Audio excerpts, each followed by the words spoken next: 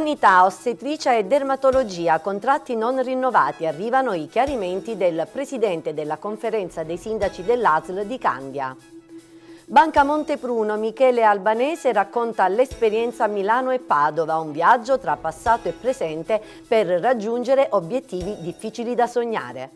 Sala Consilina ha inaugurato lo studio Impronta per il benessere mentale e quindi fisico. A Sanza un corso sulle tecniche di caseificazione 7 e 8 aprile. Caro bollette aumenta anche il caffè al bar, rincaro del 12%. Bentrovati al nostro appuntamento con l'informazione. In apertura alla sanità, la questione è legata al mancato rinnovo dei contratti a tempo determinato per due ostetriche e la dottoressa in servizio presso l'ambulatorio di dermatologia del Luigi Curto di Polla ha provocato una serie di preoccupazioni nel Vallo di Diano. Su quanto accaduto è intervenuto con due post sul profilo Facebook il sindaco di Teggiano nella sua veste di presidente della conferenza dei sindaci dell'Asia ASL Michele Di Candia, che spiega come ci si sta attivando sia per ciò che riguarda le ostetriche e sia in riferimento all'ambulatorio di dermatologia. Vediamo il servizio. Sanità nel Vallo di Diano e problemi relativi agli organici per ciò che riguarda ostetrice e ginecologia e l'ambulatorio di dermatologia. Arrivano ora i chiarimenti e le delucidazioni in riferimento all'attuale situazione dal sindaco di Teggiano e presidente della conferenza dei sindaci dell'ASL di Salerno Michele Di Candia.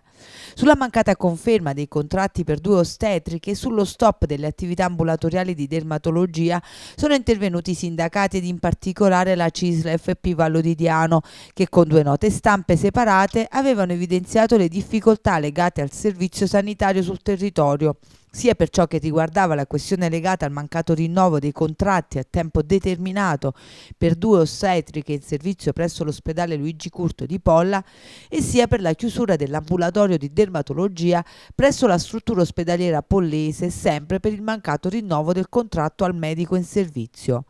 A chiarire la situazione il presidente della conferenza dei sindaci dell'Asro, nonché sindaco di Teggiano, Michele Di Candia, che con un post spiega lo stato delle cose, evidenziando come sono già in atto azioni adottate insieme al consigliere regionale Corrado Matera per la riattivazione immediata dell'ambulatorio di dermatologia, ambulatorio di grande importanza dato che contava un numero di utenti che raggiungeva anche le 300 visite mensili servendo pazienti provenienti da tutta la provincia di Salerno e non solo.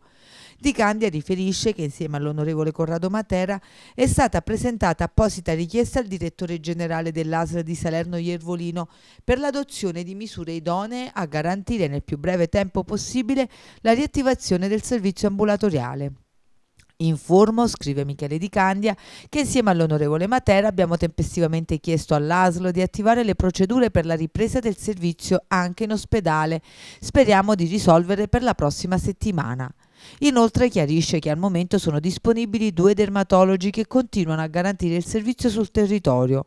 Per quanto riguarda invece la questione legata al mancato rinnovo dei contratti per due ossetriche del Vallo di Diano, assicura che dal primo maggio prenderà servizio personale che sarà assunto con contratti a tempo indeterminato.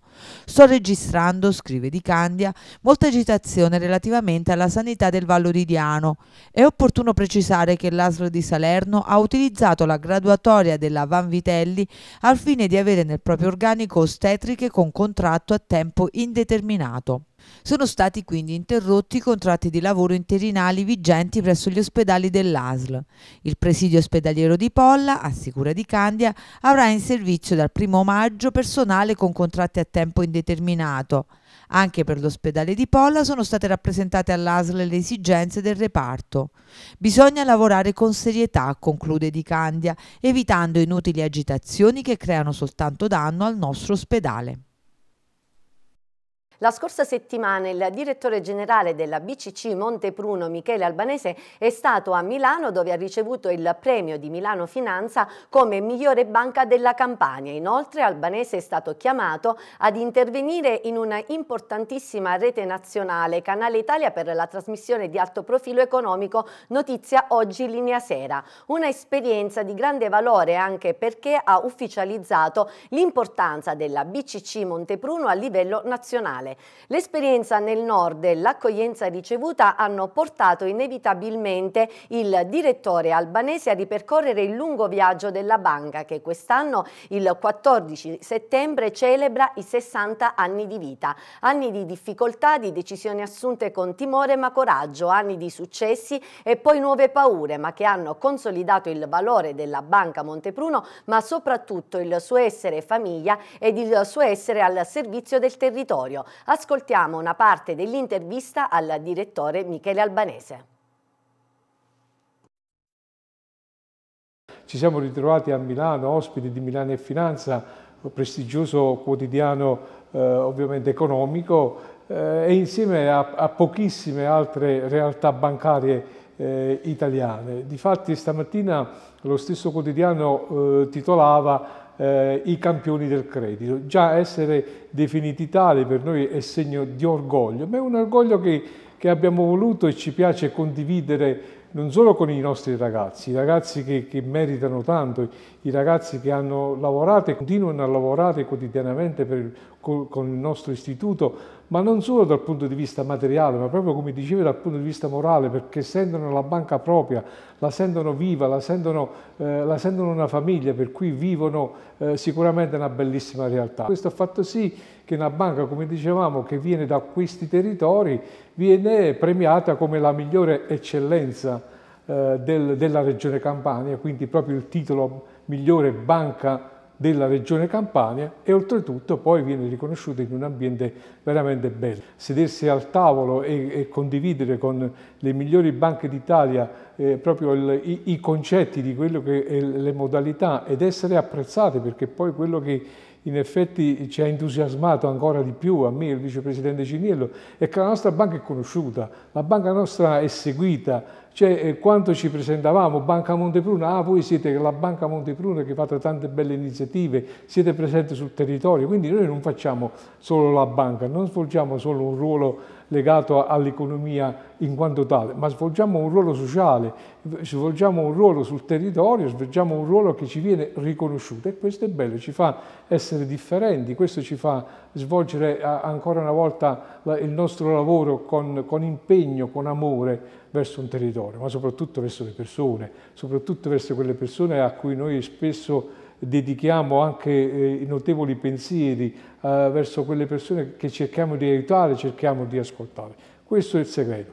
Ulteriore soddisfazione, essere intervistati da classe di editori non è da tutti i giorni e in più siamo stati ospiti a Padova di Canale Italia che è un canale italiano con oltre eh, 6 milioni di spettatori in un talk show eh, legato all'economia dove si è parlato di tanti argomenti. Beh, vedere una banca del sud eh, al nord non è da tutti i giorni, in genere siamo abituati un po' al contrario, cioè vedere le eccellenze del nord che vengono al sud e questo ci, ci riempie di soddisfazione, quindi orgogliosi di questi.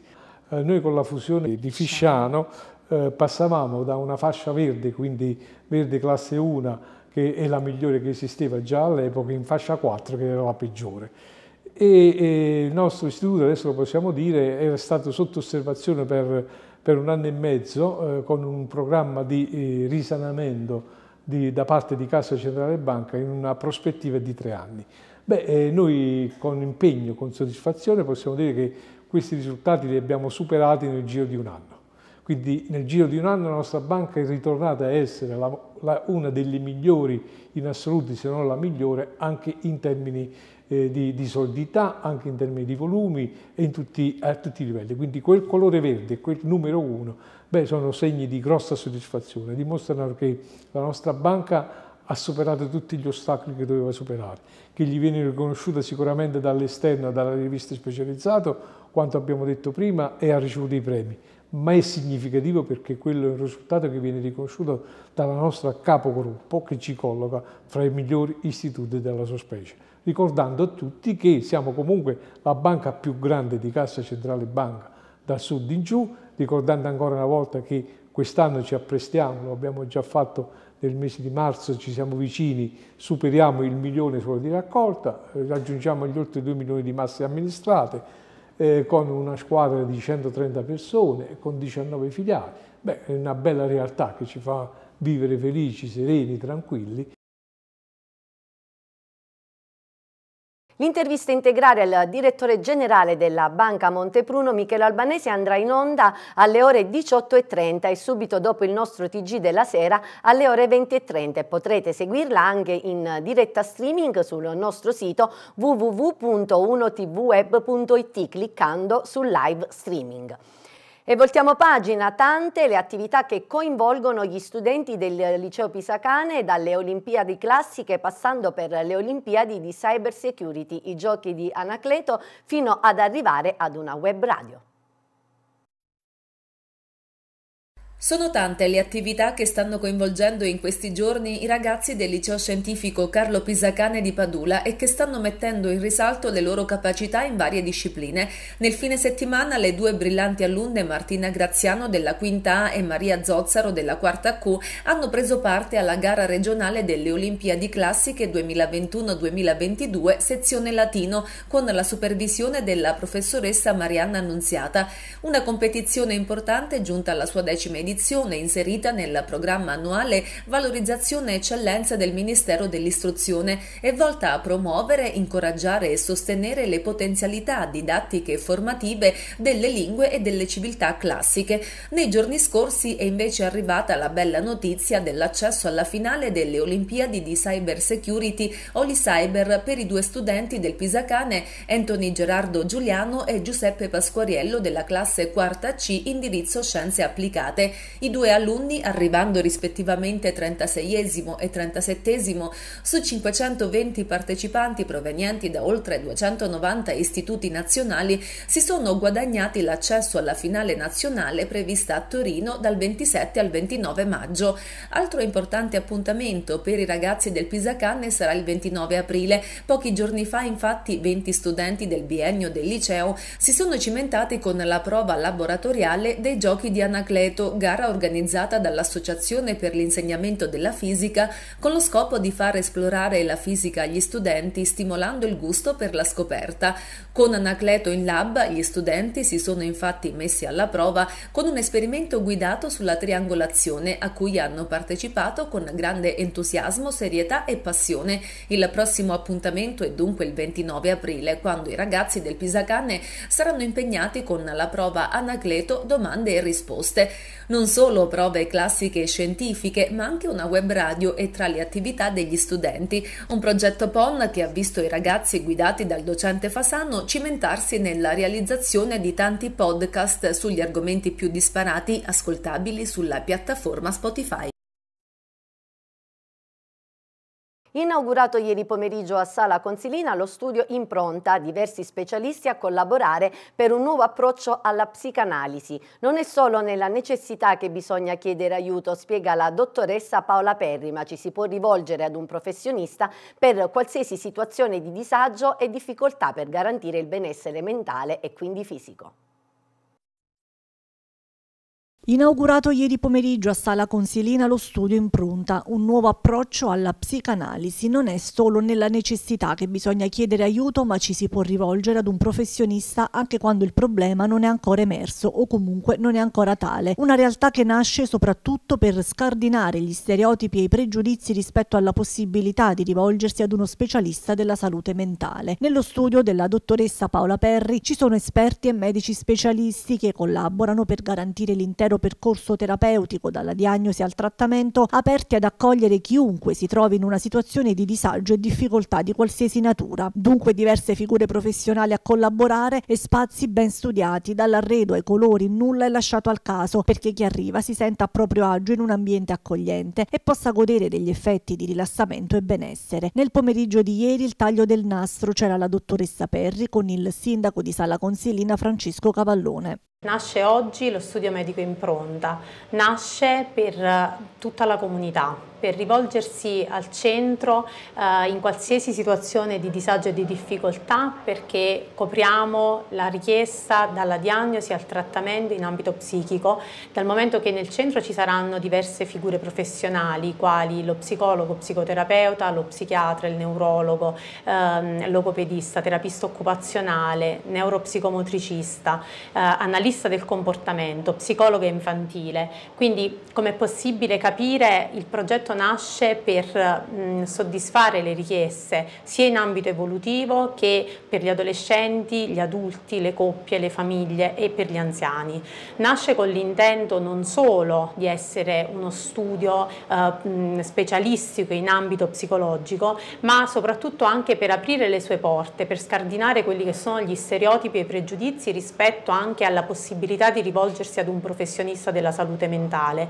Um, per questo presso il centro ci saranno diversi tipi di iniziative, quali per esempio i sabati del benessere, dove le persone avranno la possibilità di sperimentare e di imparare, apprendere le tecniche di respirazione, di rilassamento, il training autogeno, che sono tutte tecniche fondamentali per la nostra vita quotidiana per imparare a gestire l'ansia, lo stress, la respirazione. È fondamentale eh, sottolineare che presso lo studio ehm, ci sono degli spazi appunto attrezzati come la stanza della psicomotricità e per la terapia occupazionale dove i bambini potranno effettuare delle terapie specialistiche e dei protocolli eh, di terapie ovviamente avanzate. La, la nascita dell'equipe e quindi la collaborazione tra le diverse figure perché Presso lo studio ci sarà il neuropsichiatra infantile che collaborerà quindi con la psicologa infantile, la logopedista, la psicomotricista. È fondamentale pensare alla possibilità di lavorare in equip anche e soprattutto in ambito privato.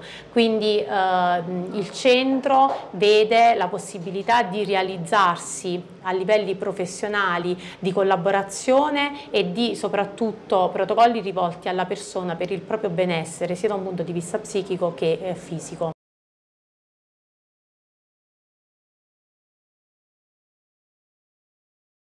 Un macabro manifesto funebre contro il vescovo della diocesi Nocera-Sarno, originario di Sala Consilina Monsignor Giuseppe Giudice, è apparso nella notte tra sabato e domenica dopo il suo stop alle tradizionali processioni religiose nel periodo di Pasqua. Monsignor Giuseppe Giudice, pseudo vescovo di Nocera Inferiore Sarno, si legge ha tragicamente con un decreto inutile ucciso e oltraggiato le nostre feste patronali. Ne danno la triste notizia le bande musicali, i fuochisti, gli ambulanti, i giostrai, le ditte delle luminarie e molti commercianti che ancora piangono un periodo buio per la crisi legata al Covid ed ora continuano a non lavorare per una scelta disonesta ed ingiusta.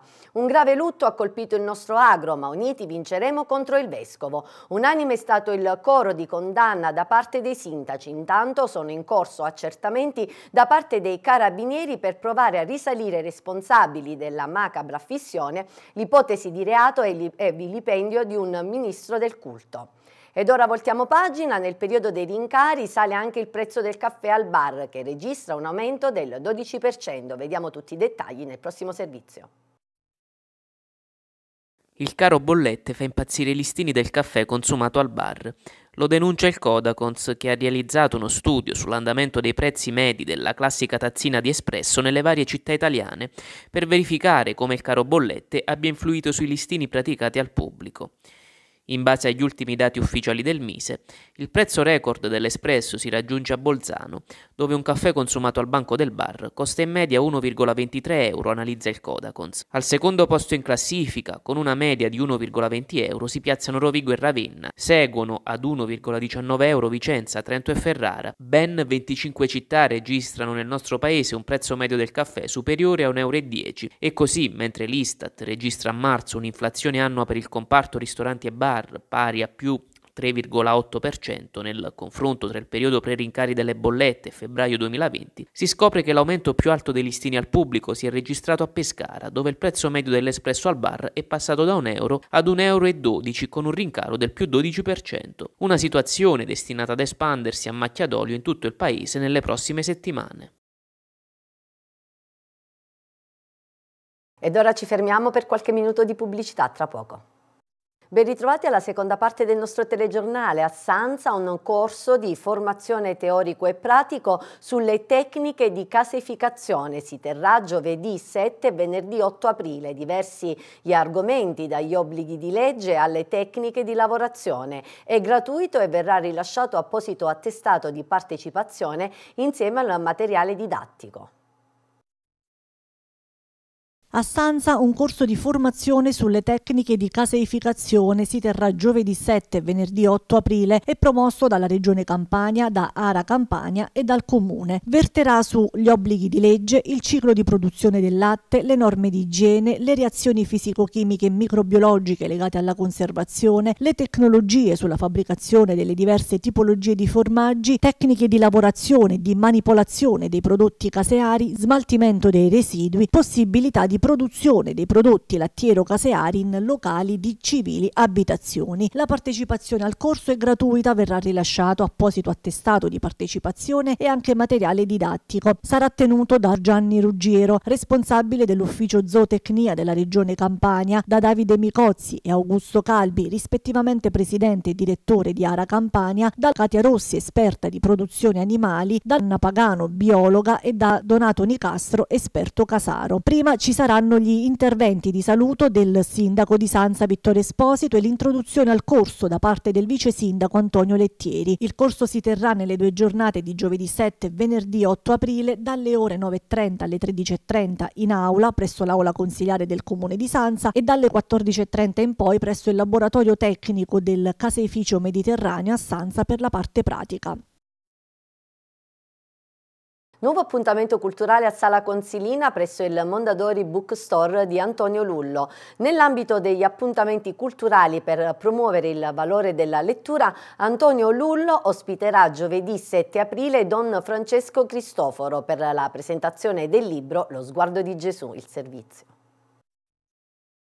Una raccolta di storie con e senza volti che ripercorrono vicende misericordiose imponendo al lettore un'autovalutazione del suo comportamento davanti alla sofferenza.